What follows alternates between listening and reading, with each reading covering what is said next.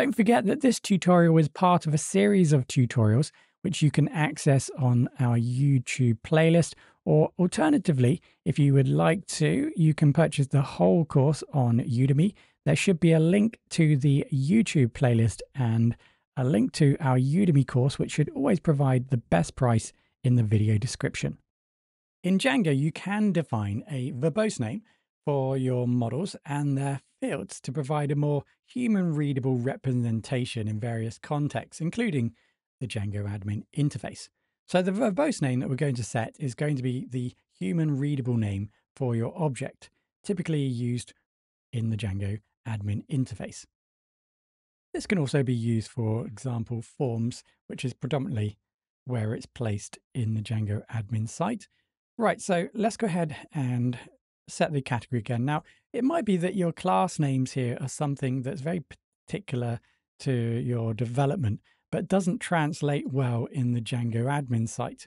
So let's go ahead and set the create a new class, uh, the meta class here, and then let's go ahead and set the verbose uh, name. Okay, so verbose name equals, uh, and we'll set this to inventory category, inventory category for now.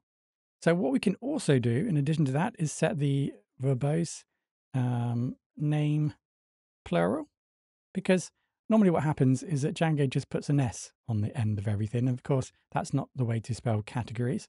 So let's set the verbose name plural and that equals uh, categories. And there we go.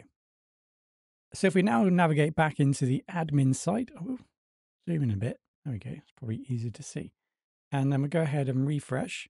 You can now see that categories have changed here on the left-hand side to use the plural. And you can see here, here it says select inventory category to change.